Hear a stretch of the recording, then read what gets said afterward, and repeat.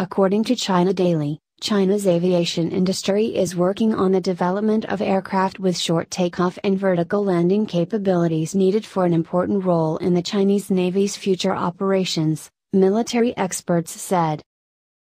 Research and development on components of STOVL aircraft, such as the engine, have started, Wang Yanan, deputy editor in chief of Aerospace Knowledge magazine, told China Daily.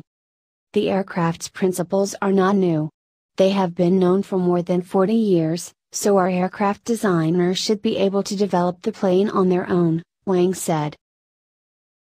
The Aviation Industry Corp of China, the country's leading aircraft maker, announced on its website that two of its subsidiaries, Avic Chengdu Engine Group and China Aviation Engine Establishment, have signed a cooperation agreement on the development of the STOVL aircraft's engine. The statement said the STOVL aircraft project aims to strengthen the People's Liberation Army Navy's amphibious combat capability and address the absence of such a weapon in the PLA's arsenal. Compared with conventional fixed wing aircraft, a STOVL plane can be readied for action in a shorter period of time and occupies less space in a hangar bay or on the deck of a ship. These features have made it a popular choice for naval powers since late 1960s when Britain's subsonic Hawker Siddeley Harrier became the first STOVL aircraft to be put in service.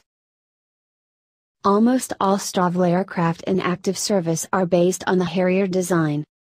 This time, Avic appears to have made the right decision at the right time as the PLA Navy now needs a STOVL aircraft because it will significantly supplement and improve its amphibious capabilities, Wang said.